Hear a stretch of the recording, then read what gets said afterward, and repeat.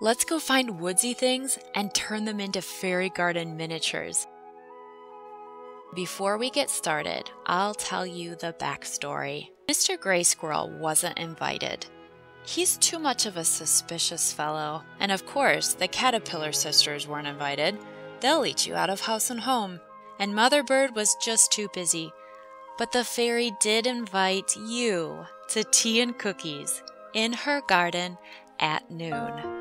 Hi, I'm Caroline, and I'm inspiring you to imagine, then create your own fairy tale world out of polymer clay with weekly tutorials.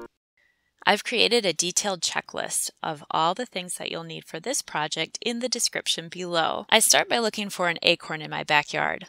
Hopefully all the good ones haven't already been taken. Yes, I'm looking at you, Mr. Suspicious. The acorn teapot. Using a mill file, I sand the bottom of the acorn so it can stand up without wobbling. I'm sure coarse sandpaper would work just as well. I do this before hollowing out the acorn so I can firmly grip it without worrying it will collapse on me. I loosen the cap with my X-Acto knife, then carefully nudge it off. Egads! A worm! I was expecting him to show up. This is why you really don't want to use an acorn for crafts without digging it out first. Eventually those worms will bore through the acorn and your project is ruined. I don't recommend roasting the acorns to kill the worms either. I've researched this to the point of geek status and found that sometimes it works, but usually it doesn't. I cut off the top of the acorn and scoop out the insides till I have a nice hollow shell. Fill that little acorn with bleach water and let it sit a few more minutes. Using my X-Acto knife, I cut out a hole for the spout and the handle. A half circle on the acorn shell and a half circle on the acorn cap. By the way, usually acorn caps are clean and bug free. The bend on a stick will make a good handle for my teapot. I trim it to the right size, and I also pick out a stick to work as the teapot spout. I drill a hole into the spout with my Dremel.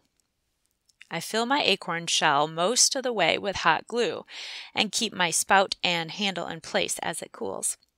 If I were to glue it all in one shot, the spout and the handle will want to wiggle out of place as I fiddle around with a cap, Better to save what sanity I still possess and glue in stages.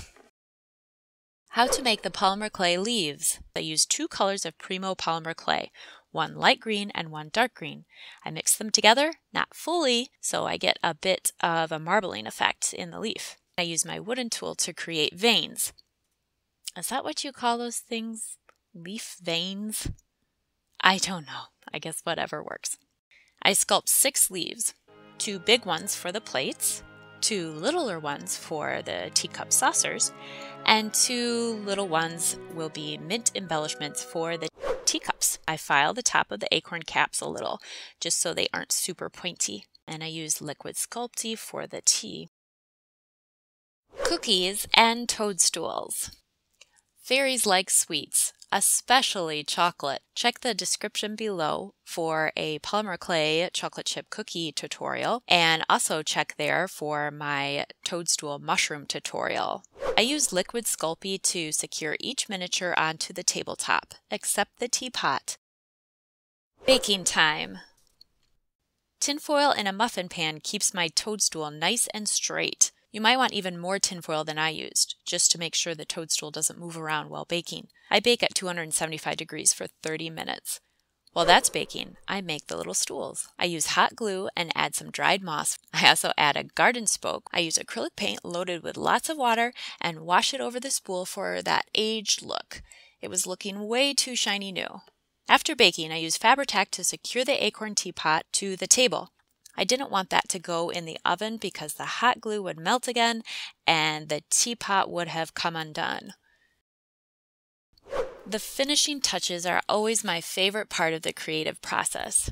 I use brown, red, and white acrylic paint and give the fairy's tea an irresistible creamy swirly look. If I wanted to keep this set outdoors, I'd cover the whole thing with this stuff, Varathane. I'd use a paintbrush and carefully apply five thin coats, letting each coat dry before the next coat. I'd add the varnish to the entire thing, even the dried moss cushions on the stools. So let's recap the most importantest tips. Varathane. It's known far and wide to work well with polymer clay. 5 thin coats. Emphasis on thin. Paintbrush. I hear the spray kind will sometimes not work properly with polymer clay. Bring it inside for the winter. Wait, I didn't mention that before, so therefore it can't be a recap. If you'd like me to make a future video about making your DIY fairy garden accessories weather resistant, please leave a comment and let me know. Sometimes I can't sleep at night because I've got so many ideas for more fairy garden miniatures and I really want to bring imagination to your life. So hit that subscribe button and